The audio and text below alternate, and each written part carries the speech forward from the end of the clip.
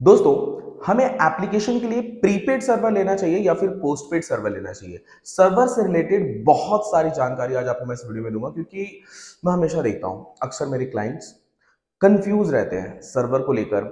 वो अच्छा मैं एक चीज़ आपको बता दूँ कि मैं इस वीडियो में किसी भी होस्टिंग डोमेन प्रोवाइडर जो वेबसाइट्स हैं, उनका प्रमोशन नहीं कर रहा हूँ बट एक सही नॉलेज दे रहा हूँ आपको कि जब भी आप एप्लीकेशन बनवाते हो तो आपको कौन सा सर्वर लेना चाहिए? Prepaid postpaid Amazon cloud hosting या फिर आप गो डैडी से ले लो। मतलब कौन सा लेना चाहिए? कौन सा ज़्यादा ज़रूरी है? ठीक है?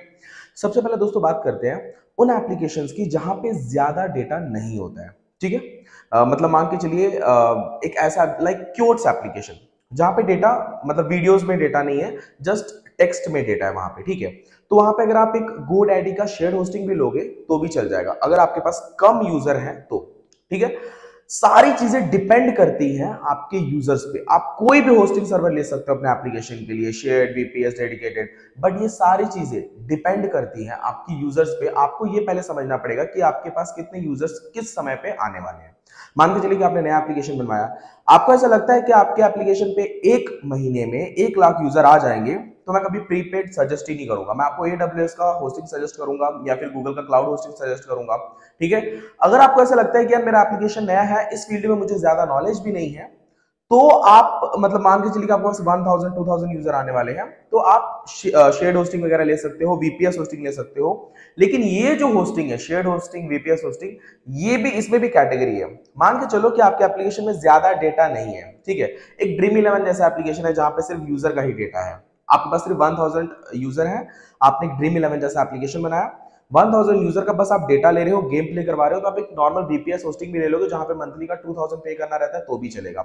आपका एक क्योट्स का एप्लीकेशन है, जहाँ पे सिर्फ़ टेक्स्ट में डेटा यानी कि टेक्स्ट का जो डेटा रहता है, वो बहुत कम केबी केबीज में रहते हैं। कुछ एमबीज में एमबीज में तो नहीं रहते, ज़्यादातर केबीज में रहते हैं। तो वहाँ पे क्या होगा, आप मतलब अगर आपका क्योट्स का एप्लीकेशन है तो आप शेयर होस्टिंग वाला भी ले लोगे, अगर आपके पास 1000 यूज़र है तो शेयर होस्टिंग में भी आपका एप्लीकेशन चल जाएगा। अगर आपका क्योर्ट्स का ही एप्लीकेशन है, लेकिन यूज़र आपके एक लाख, दो लाख है तो मैं सजेस्ट करूँगा आप पोस्टपेड ले लो वीपीएस डेडिकेटेड वगैरह पे आप जाओ, ठीक है? वीपीएस होस्टिंग थोड़ा अच्छा ये जो शेयर्ड होस्टिंग वीपीएस होस्टिंग और पोस्टपेड है, इसको थोड़ा पहले समझा देता हूँ तो आपको समझ में आ जाएगा और चीज़ें डिटेल में समझ में आएगी। शेयर्ड होस्टिंग क्या होता है ना? जैसे मान के चलो, आप शेयर्ड ऑटो लेते हो ना, एक ऑटो में छह लोग बैठते हैं वह उसी टाइप का होता है शेयर्ड होस्टिंग शेयर्ड होस्टिंग आपको मान के चलो सस्ते में मिल जाएगा बट उस होस्टिंग पे और भी वेबसाइट्स रन कर रही होती है, ठीक है?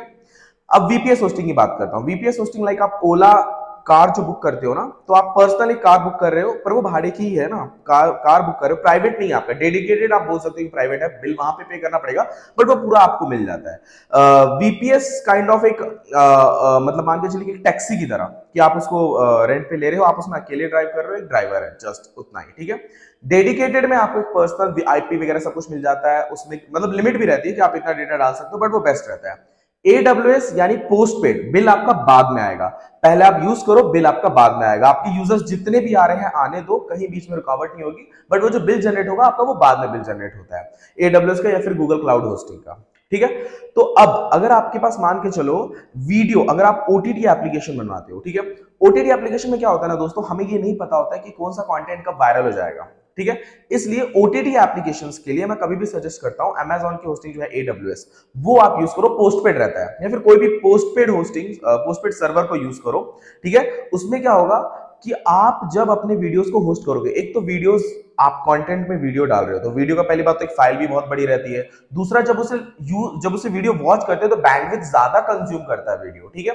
इस सिनेरियो में अगर आप गूगल का सॉरी गूगल का नहीं गोड का या फिर नॉर्मल कोई शेड होस्टिंग ले लेते हो तो आपका एप्लीकेशन लैग करेगा। आपका एप्लीकेशन चलेगा नहीं, क्योंकि मान के चलो 1000 यूज़र भी एट ए टाइम देख रहे हैं अगर आपके एप्लीकेशन में वीडियो को तो नहीं चलेगा लैग करेगा, बंद हो जाएगा आपका एप्लीकेशन या बहुत स्लो चलेगा बफर करेगा।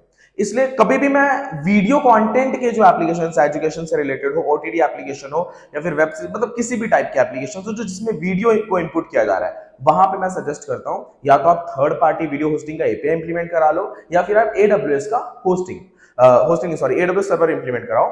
तो उससे क्या, वो पोस्टपेड रहता है। एडब्ल्यूएस पोस्टपेड रहता है, उससे क्या होगा, आपका यूज़ होने तो जितना हो रहा है, आपके पास जितने यूज़र्स आ रहे हैं, आने तो आपका मंथली का बिल जनरेट होता है। अब एक ये सवाल ये होता है हमारे मन में, और डर भी रहता है कि पता नहीं कितना बिल जनरेट होगा, क्या होगा।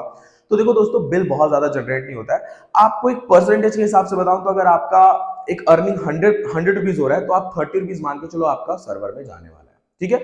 किसी भी कैटेगरी के एप्लीकेशन में अगर आप सौ रुपए कमा रहे हो तो दस, बीस रुपए, तीस रुपए तक आप मान के चलो कि आपका होस्टिंग में जाने वाला है। बीस रुपए और मान लो आपका एप्लीकेशन के मेंटेनेंस में जाएगा, बाकी का फिफ्टी रुपीज़ जो है वो आपकी सेविंग या प्रॉफिट है। ठीक है? तो इस तरीके से ये सारा सिनारियो वर्क करता है। इस तरीके से आपको समझना है कि आपको कौन सा होस्टिंग लेना है, कौन सा सर्वर लेना है। पहले आपको ये समझना है कि आपके एप्लीकेशन में डेटा क्या है? टेक्स्ट है, या फिर ज़्यादा यूज़र्स हैं, या फिर वीडियोस हैं। ये समझ के तब जाके आप कोई होस्टिंग लो या फिर सर्वर लो। क्योंकि इस चीज़ को लेकर आप लोग बहुत ज़्यादा कंफ्यूज रहते हो। बट स्टिल अगर आपको क्वेश्चन है तो मुझे नीचे कमेंट बॉक्स में ज़रूर पूछ सकते हो या फिर मुझे कॉल कर सकते हो। नीचे डिस्क्रिप्शन बॉक्स में मेरा कॉन्टैक्ट नंबर दिया हुआ है। थैंक यू दोस्तों, मिलते हैं नेक्स्ट वीडियो में।